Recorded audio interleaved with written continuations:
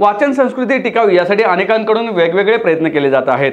Mobile T V यामुळे पुस्तकांपासून वाचत दुरावला आहे आणि दुसरीकडे पुस्तक छपाईसाठी जी एस टी आकारला जात असल्यामुळे पुस्तकांच्या किमतीत वाढ झाली आहे.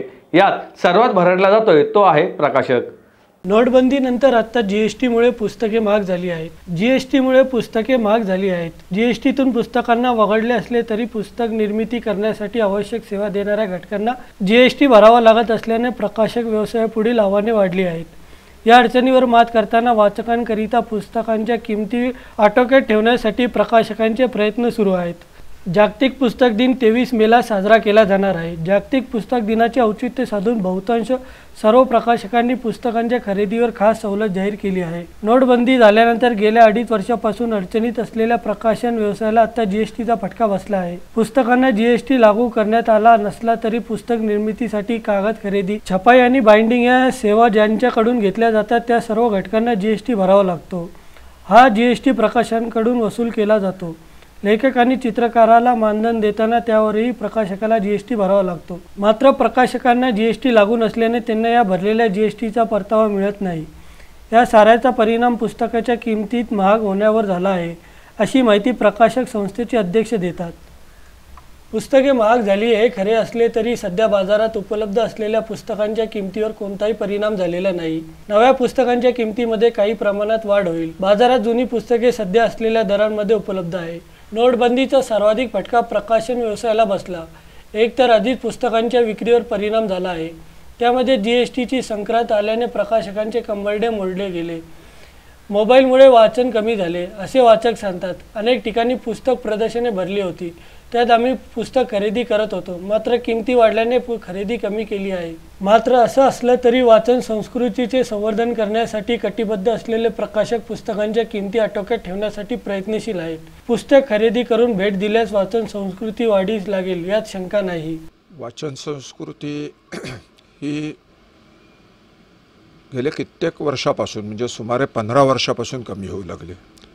सुरुवातीला टी व्ही सिरियल्स आणि त्यानंतर मोबाईल आणि त्याहीपेक्षा मोबाईलवरचं व्हॉट्सअप.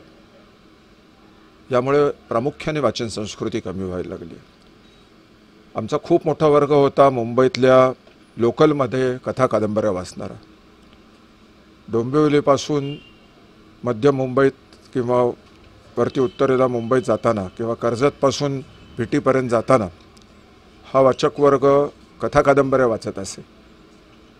आता तुम्हाला एकही आढळणार नाही.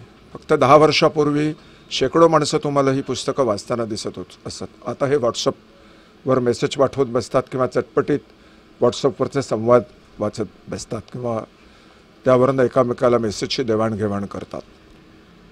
हा फटका कमी की काय म्हणून त्यानंतर गेल्या दोन वर्षात अडीच वर्षात हा या सरकारने जी एस टी लावला. प्रकाशकांना ही स्वप्नात ही कल्पना नव्हती की हे सरकार पुस्तकांवर जी एस टी लावेल.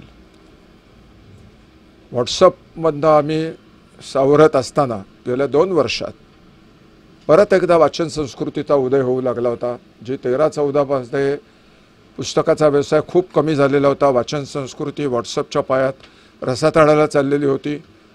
परंतु सतरा सालापासनं सोळा सतरा सालापासून हळूहळू वाचन संस्कृती परत सुधारायला लागली होती. चांगली पुस्तकं बाजारात यायला लागली होती. लोकांचं वाचनाचं वेळ हे वाढायला लागलेलं होतं. परंतु अचानक जी एस टी लावला गेला आणि प्रकाशकांना या जी एस टीचा फार मोठा फटका बसला. आज आम्हाला पुस्तक काढ एक पुस्तक काढायचं असेल तर चित्रकाराकडनं कव्हर करून घेण्याकरता चित्रकाराला बरं चित्रकाराला आम्हाला अठरा टक्के जी एस टी द्यायला लागतो. आम्ही लेखकाकडनं लेखकाकडनं जेव्हा मानधन म्हणून त्यांना रॉयल्टी देतो म्हणजे एखादं दोनशे रुपयाचं पुस्तक असेल तर प्रत्येक पुस्तकामागे जर त्याला वीस हजार रुपये रॉयल्टी द्यायची हे ठरवलं तर त्याच्यावरही अठरा टक्के म्हणजे छत्तीसशे रुपये आम्हाला जी एस टी भरायला लागतो. पुस्तकाचं कव्हर प्रिंटिंग जे आहे त्याच्यावर आम्हाला बारा टक्के जी एस टी भरायला लागतो. त्याच्या ज्या प्लेट बनवल्या जातात त्याच्यावर अठरा टक्के जी एस टी भरायला लागतो. आतमध्ये पुस्तकावर जे ब्लॅक अँड व्हाईट प्रिंटिंग आहे त्याच्यावर पाच टक्के जी एस टी भरायला लागतो. जो कागद आम्ही वापरतो त्याच्यावर बारा टक्के जी एस टी भरायला लागतो.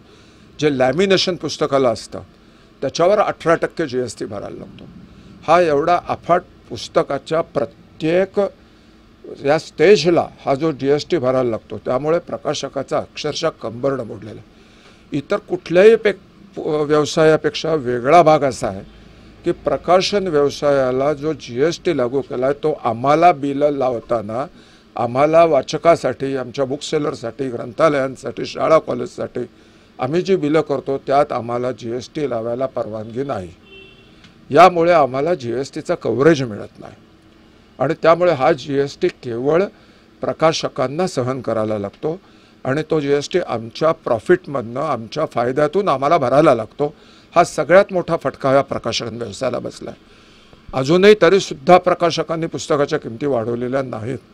याचं कारण प्रकाशकांच्या मनात एक भीती आहे की याहीपेक्षा अधिक किमती वाढवल्या. अठरा टक्के जी एस टी आम्हाला लावला जातो. जर आम्ही किमती वाढवल्या तर आमचा सेल कमी होईल.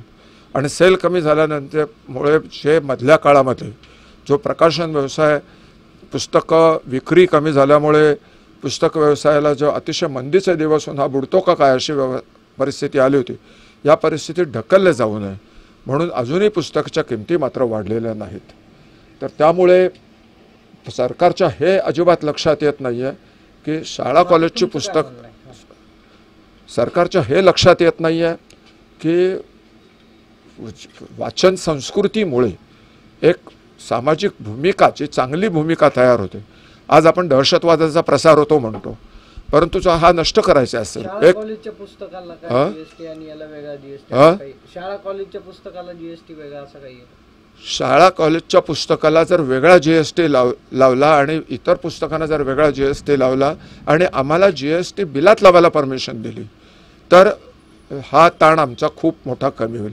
खरं म्हणजे वाचन संस्कृती वाढवण्याच्या ज्या काही एक सांस्कृतिक भूमिका जी प्रकाशकाची असते की ज्यामुळे समाजामध्ये एक सांस्कृतिक स्थैर्याचं वातावरण पुस्तकांमुळे निर्माण होतं हे सरकारने लक्षात घ्यायला पाहिजे आणि जे वाङ्मयीन पुस्तकं निर्माण होतात याच्यावर जी वस्ती लावता कामा नये. जी कमर्शियल पुस्तकं आहेत जी लागतातच जी व्यावसायिक पुस्तकं आहेत याच्यावर जी एस टी लावावा आणि बालभारती किंवा गरिबांपर्यंत जी पुस्तकं जाणार आहेत त्यासाठी आणि वाङ्मयीन साहित्यविषयक पुस्तकांना जी एस टी असू नये अशी मा माझे प्रकाशक म्हणून आणि प्रकाशक संघाचा अध्यक्ष म्हणून ही आमची ठाम भूमिका आहे. तुमचं नाव सांगा. राजीव बर्वे.